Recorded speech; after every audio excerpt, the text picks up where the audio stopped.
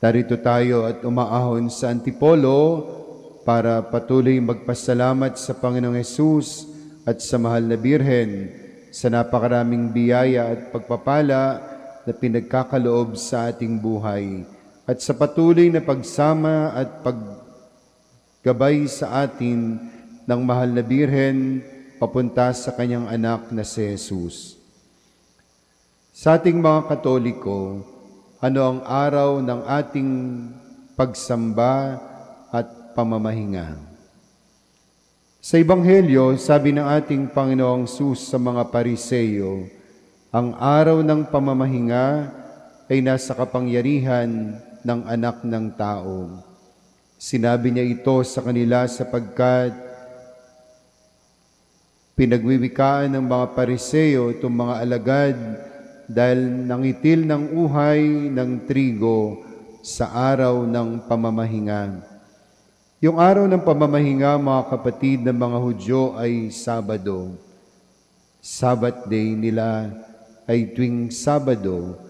At ang pinagmulan nito ay yung kanilang pag-alaala sa ginawang pagliligtas ng Yahweh sa kanila sa Ehipto ito ay pag-alaala ng kanilang pagmamahal, ng pag-ibig ng Diyos sa kanila. Kaya lang sa katagalan, dinagdagan nila ng napakaraming batas. Kaya yung mga Hudyo ay naging legalistic. Kaya lumayo na sila doon sa diwa ng Sabat, ng araw ng pamamahinga, ng araw ng pagpapasalamat, ng araw ng kanilang kaligtasan.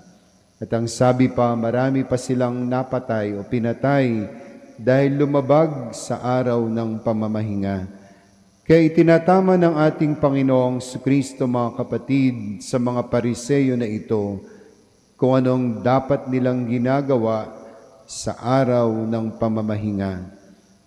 Na hindi masamang gumawa ng mabuti, hindi masamang magpakain, hindi masamang maglingkod, magpagaling na may sakit kung araw ng pamamahinga, sapagkat yun ay nasa loob pa rin ng pag-ibig at pagliligtas ng Diyos.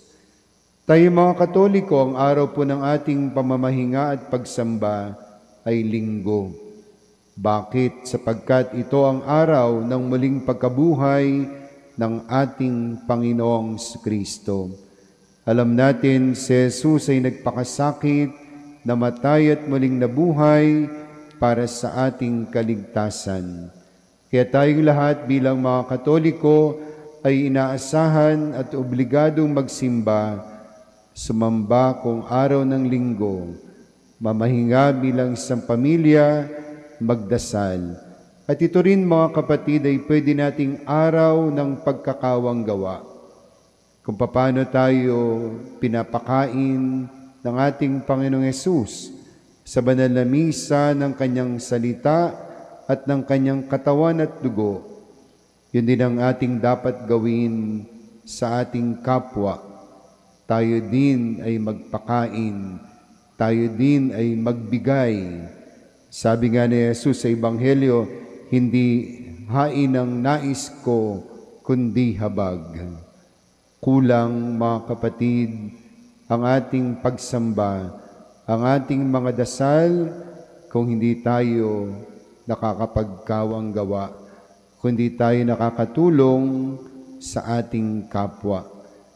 Tayo ay mga Kristiyano, tayo ay mga Easter people, tayo ay mga Kristiyano kay Kristong muling nabuhay.